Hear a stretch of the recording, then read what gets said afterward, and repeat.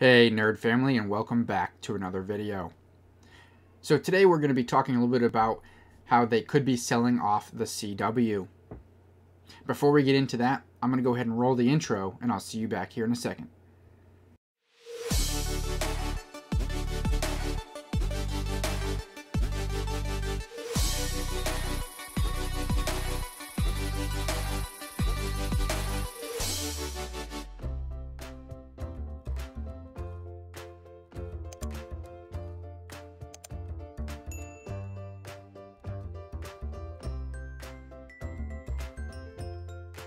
Alright guys, welcome back. I hope everyone out there is staying safe and staying healthy. If you haven't already checked out the nerdcircle.com, make sure to head over there and check it out.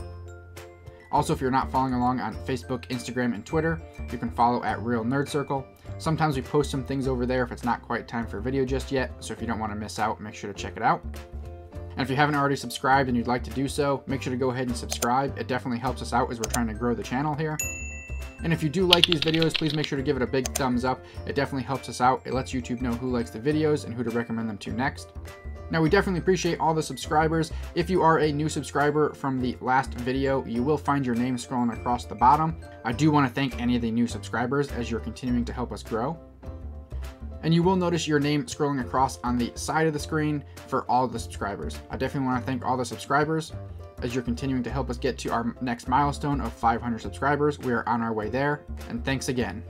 Alright guys, so today we're just taking a quick look here with them potentially selling off the CW. Basically with the whole um, merger going on between Warner Media and Discovery Plus. So for those of you that don't know, I've made a previous video about who owns CW. Make sure to go ahead and check it out for more information. But long story short of it, CW is owned by CBS, which is uh, now, of course, Paramount.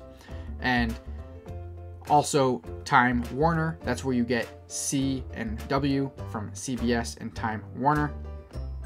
So they've been, you know, doing this for quite some time and, you know, everyone's got their own opinion. Some people think that they make really bad shows. I really like almost all their content here. But regardless, I think they make some good content and uh, so they're talking about selling it off here. There's not a whole lot of concrete information out there just yet, but we're going to kind of take a look at a little bit of it here today. Now, I do want to just kind of make a little point out here that if they do not sell it off, if they decide for whatever reason to keep it, well, I do think there's going to have to be a name change because it's no longer CBS, it's now Paramount. So what does that mean it's going to become PW? Eh, I guess we'll see. Anyways, the way it kind of works behind the scenes is there's certain shows that are produced or made by uh, CBS, and then there's certain shows that are produced and or made by Time Warner. But unfortunately, most of those shows don't come over to CBS or over or Paramount or over to HBO Max. A lot of times you can find them on um, CW Seed, but now some of them have made their way over to the, their respective streaming platforms as of recently. But I think that's one of the biggest pain points, and I think that that's another reason that they're looking at kind of selling it off so that way, you know, hopefully they can take what's theirs and, you know, kind of move on. But let's quickly take a look. So for those of you that don't know, so these are some of the trending shows that you're going to see that are scrolling across here. Now, I could tell you every show that I like, but we'd be here for a very long video because I like a lot of their shows, and I, I could be, uh, you know, a minority there because there's a lot of people that complain about their shows, but I really do enjoy them. Um, I like a lot of the DC uh, related shows, and I, I kind of like that some of the shows go into each other, but that can sometimes become annoying. If you fall behind, it becomes a little tedious to try to line everything up there. But besides the point, they, I think they make a lot of great DC shows and there's a lot of other ones as well. Um, so Naomi, if you guys haven't started Naomi, I did recently start that. I think it's pretty good. Um, my my wife loves Riverdale. I haven't started it yet. Um, she likes Walker. I do want to start Kung Fu. I haven't started that yet. I don't know why I've never started Krypton. Uh, it just never was one that I watched, but I, I do watch almost every other DC show. And they've got so many other shows here. Um, these are just some of their ones that are trending, but you can see the CW Seed series here. And there's just a lot of shows that I think are good, and there's so many of them that I have yet to see that I probably like as well. Now, that's not to say that every show that comes out on CW is good. Of course, you're going to have some flops just like every other production company does, but I think for the most part, I think they put out a lot of great shows. One that I still have yet to see that I think I will like is the remake of Legends of the Hidden Temple, so I do have to check that out at some point, but they're always putting out some kind of new show, and it always looks good when you watch like the trailers and, and things like that.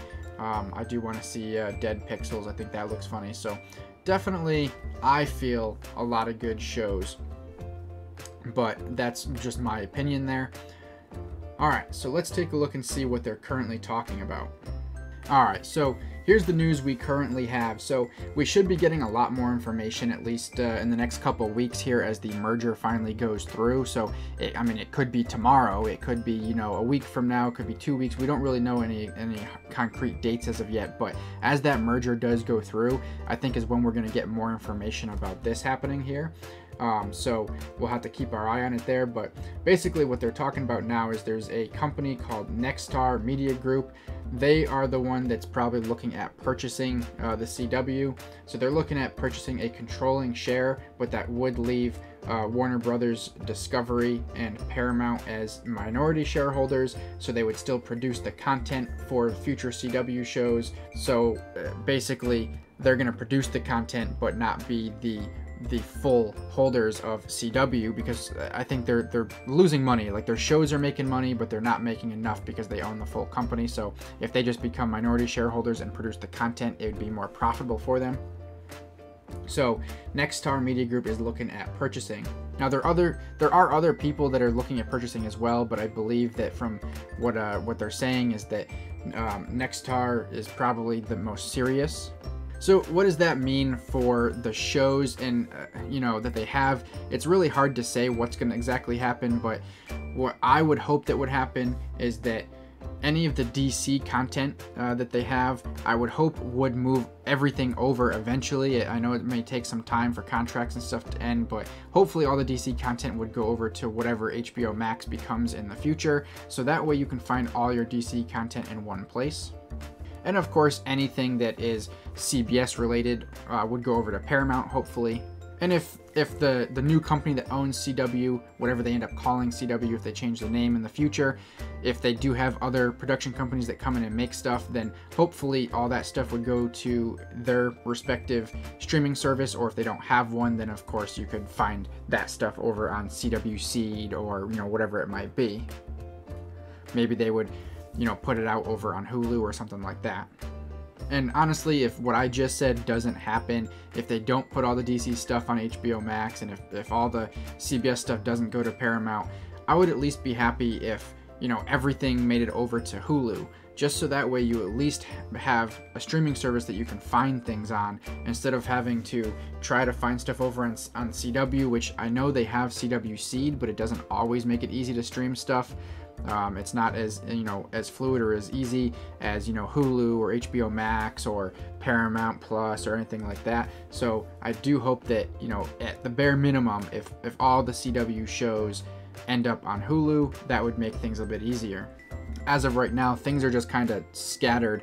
Some things you can find on some services, some things you can you have to come over to CW for. So it just makes it a, a bit difficult currently. And now let's quickly just talk about there are some new DC things in the pipeline. Nothing has been necessarily confirmed. Some things have been, but not everything's been confirmed. It's just uh, some of it's speculation, but just uh, to kind of talk about that there are a lot of things in the works right now.